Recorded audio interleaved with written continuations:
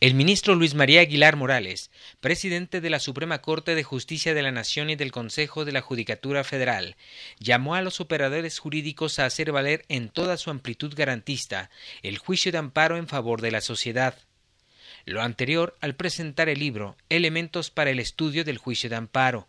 Yo creo que lo más importante de obras como esta será la que cada uno de los lectores este, reciba de ella cada uno de ustedes como lectores y cada uno de quienes se acerquen a esta obra encontrarán muchas más reflexiones de las que aquí se han dicho y sobre todo una gran utilidad. No solo para los juzgadores, que desde luego es una obra que servirá mucho a los juzgadores, sino también a los estudiosos del derecho. La obra fue coordinada por el consejero de la Judicatura Federal, José Guadalupe Tafoya Hernández.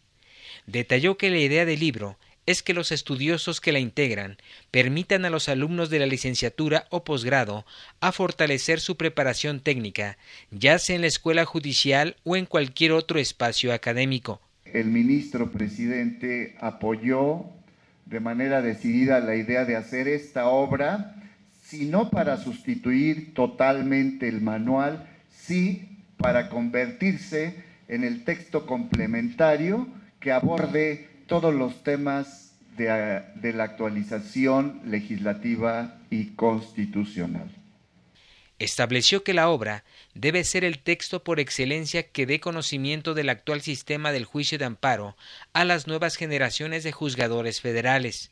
Soy partícipe, comulgo con la idea de que el buen juzgador, el mejor juzgador, es aquel jurista que combina la práctica jurisdiccional con la teoría o con la doctrina. La consejera Rosa Elena González Tirado también fue coautora del libro. Esta obra va a, ser muy útil para aquellos eh, estudiosos del derecho, para aquellos que quieren ah, ascender en la carrera judicial. La obra contiene estudios elaborados por nueve ministros y ministros en retiro, así como de cinco consejeros de la Judicatura Federal. Canal Judicial, Miguel Nila Cedillo.